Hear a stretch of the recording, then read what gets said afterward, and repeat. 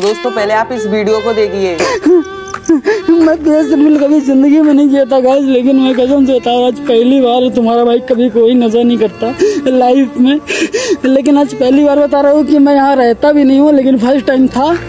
थोड़ा घर में लेट हो गया आने में।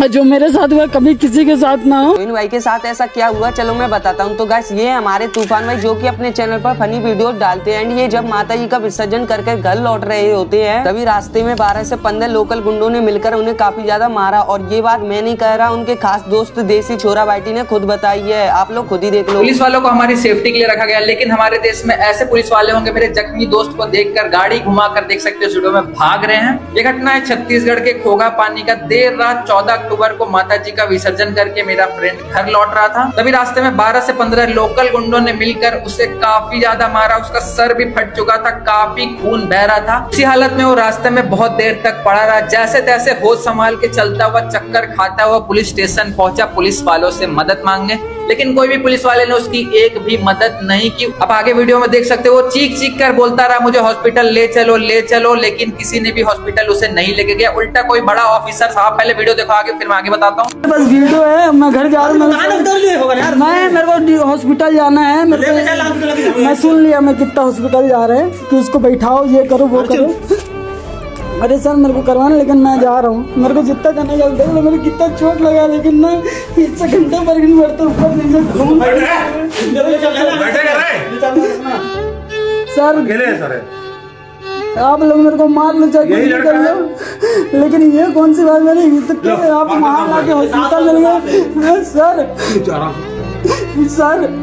बोला। हेलो सर जी, मेरे को बहुत ज़्यादा चोट लगा है। मैं इनसे निवेदन कर रहा हूँ कि मेरे को ले चलिए। अल्लाह का नहीं कर रहा, मैं घर जा रहा हूँ, मम्मी पापा के पास। मेरा खून इतना ज़्यादा बह रहा है, सर, मैं क्या करूँ, बताइए ना। सर, मैं एक घंटा पहले से कब से आ रहा हूँ, सर? इतना नगर से मेरा खून कितना बह गया, आप देखिए तो एक बार आके। मेरे को डर लग रहा है ना। मेरे को डर लग रहा है, सर। सर मेरे को डर लग रहा है ना यार सर। प्लीज़ टेंशन मत तू बैठ बैठ कर हाँ। मार दिया सर। जी जी। कोई भी पुलिस वाले उसको पुलिस स्टेशन से हॉस्पिटल लेके नहीं गए। उल्टा कोई बड़ा ऑफिसर था, शायद उनका हेड होगा या फिर उन्हें कॉल आया था कि अपना आदमी केस वेस बिल्कुल मत लिखना एफआईआर वगैरह नहीं लिखना, ऐसा करके बोला गया था।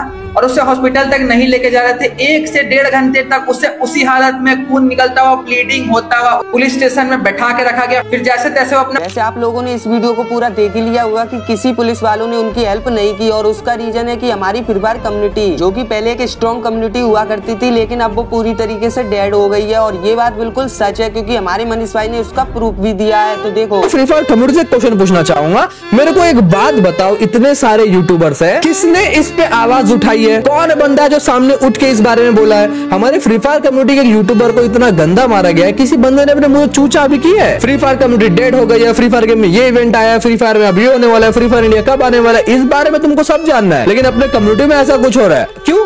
वो आपका फेवरेट यूट्यूबर नहीं इसलिए आपका फेवरेट यूट्यूबर तो कोई और है। तो अगर मेरे फेवरेट यूट्यूबर के साथ कुछ होगा तो मैं जाके आवाज़ उठाऊँगा। अगर आपकी ऐसी सोच है ना, आपको पता होते हुए आपने कुछ नहीं किया तो फिर भाई, आप, आपको मैं क्या ही बोलूँ भाई, कुछ नहीं बोला जा सकता आप लोगों को। और ये बात हमारे मनीष भाई ने बिल्कुल सच कही है, और बात करें फिर बार कम्युनिटी के जस्टिस की तो भाई, अभी तक हमारे ज्ञान भाई को जस्टिस नहीं मिला, और उसका रीजन हो, आप लोग अगर आप ऑडियंस चाहो ना तो किसी को भी खड़ा कर सकते हो एंड उसको गिरा भी सकते हो। क्योंकि जो पावर आप में वो पावर किसी में भी नहीं, चाहे वो सरकार की ना हो, और भाई, पुलिस की बात करें तो आप लोग इस वीडियो को देखो। बस वीडियो है मैं घर जा रहा हूँ मैं मेरे को हॉस्पिटल जाना है मैं सुन लिया मैं कितना हॉस्पिटल जा रहे हैं कि उसको बैठाओ ये करो वो करो। अरे सर मेरे को करवाना लेकिन मैं जा रहा हूँ। मेरे को जितना जाना जल्दी देख मेरे कितना चोट लगा लेकिन मैं एक से घंटे पर नहीं बढ़ते ऊपर नीचे घूम सर। आप लोग मेरे को मार लो चाहे कुछ कर लो। लेकिन ये कौन सी बात मैंने आप वहाँ लाके हॉस्पिटल चल गए। सर।